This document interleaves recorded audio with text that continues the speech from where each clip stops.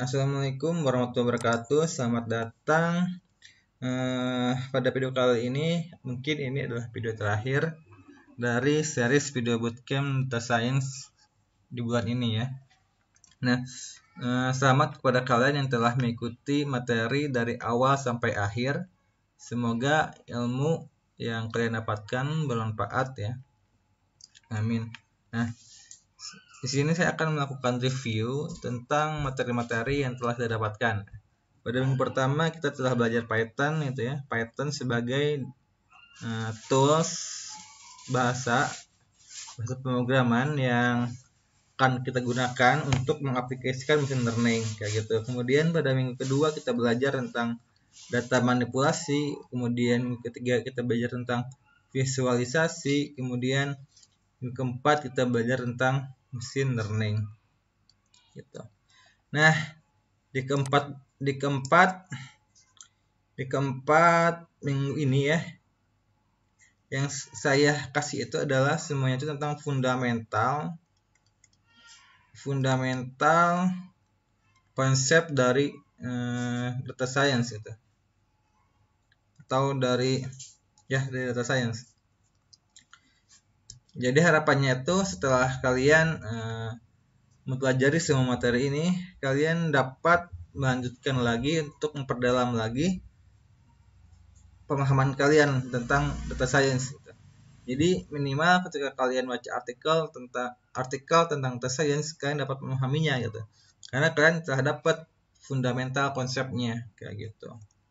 Nah, dari semua materi yang telah saya, saya berikan gitu ya, uh, kalau kita sangkut pautkan dengan workflow data science, workflow data science seperti ini, teman-teman.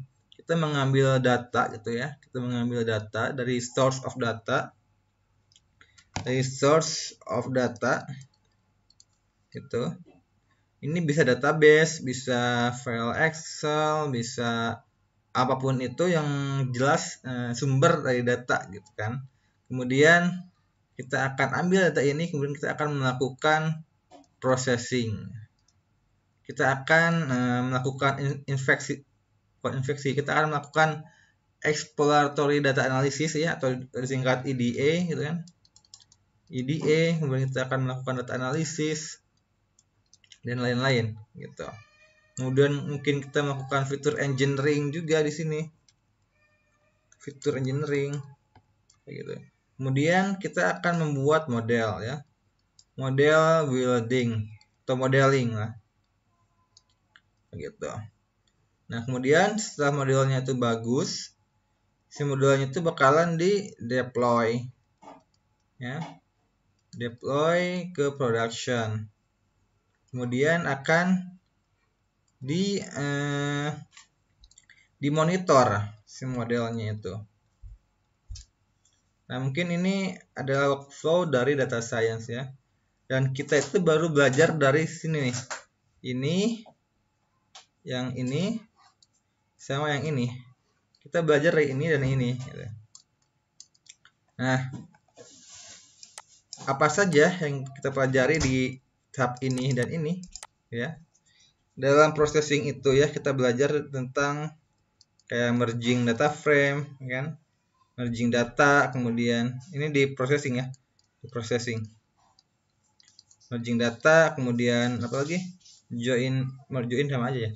Uh, grouping data kemudian aggregating kemudian transformasi dan lain sebagainya. Intinya di sini di sini kita melakukan data manipulasi ya. Kemudian kita juga melakukan setelah data ini diproses gitu ya maka kita melakukan uh, modeling ya. Nah, dalam modeling ini ya ada beberapa tahap kalau kita zoom lagi gitu ya.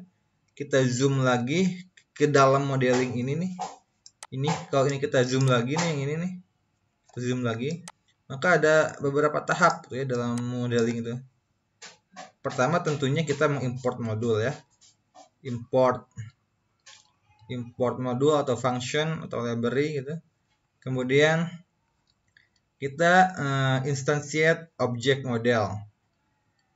Instantiate atau membuat objek model.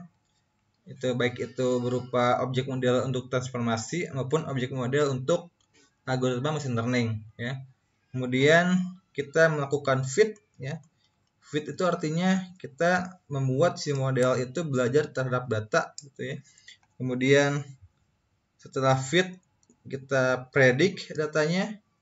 Kita predik melakukan prediksi kemudian kita uh, evaluasi. Kayak gitu. Evaluasi si modelnya nah di dalam uh, setelah kita import nah di sini tuh ada lagi sebenarnya. Semacam uh, fitur engineering gitu fitur engineering fitur engineering atau preprocessing data. Engineering gitu. Kemudian setelah instantiate di sini ada namanya tuh sebelum kita melakukan fit terhadap data kita ada namanya hyperparameter tuning ya. Parameter tuning. Kemudian ada train test split kan? Apalagi gitu ya kemudian di sini kita melakukan ya di sini evaluasi matriks ya. Ya kayak gitu. Ada yang kelewat ya sih? Hmm, ya kurang lebih semacam itu lah ya. Jadi itu gambaran besar dari uh, workflow machine learning dan juga workflow data science. Jadi kalian intinya pada video kali ini kalian kalau misalkan benar-benar eh, mengikuti materi dari awal sampai akhir dan eh, kalau misalkan kalian memahami itu ya kalau ada masih yang tanyakan kalau ada yang masih dibingungkan coba kalian tanyakan lagi karena kalau kalian sudah memahami ya insya Allah kalau kalian sudah memahami keempat materi keempat eh, topik di empat minggu ini kalian sudah paham fundamental dari konsep machine learning gitu.